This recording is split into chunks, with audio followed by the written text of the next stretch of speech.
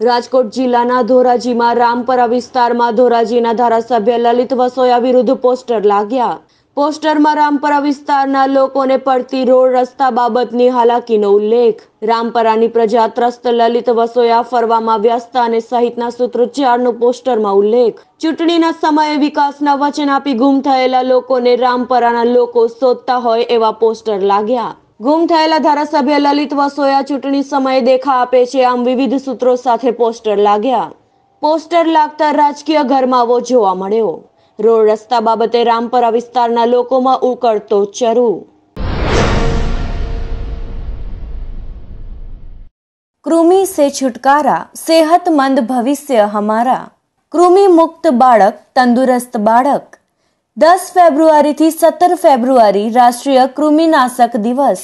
શું આપ જાણો છો કે કૃમિ સંક્રમણથી બાળકોમાં કુપોષણ અને લોહીની ઉણપ થાય છે, જેના કારણે હંમેશા થાક લાગે છે? સંપૂર્ણ શારીરિક અને માનસિક વિકાસ સંપૂર્ણપણે થતો નથી. કૃમિ સંક્રમણને અટકાવવું સહેલું છે. આજુબાજુમાં સ્વચ્છતા જાળવીએ, પગરખા પહેરવા, ખુલ્લી જગ્યાએ હાજતે ન જતા શૌચાલયનો ઉપયોગ કરીએ, સાબુથી હાથ ધોવાનું રાખો, ખાસ કરીને જમતા પહેલા અને હાજત પછી. ફળ, શાકભાજી ચોખ્ખા પાણીથી ધોવા.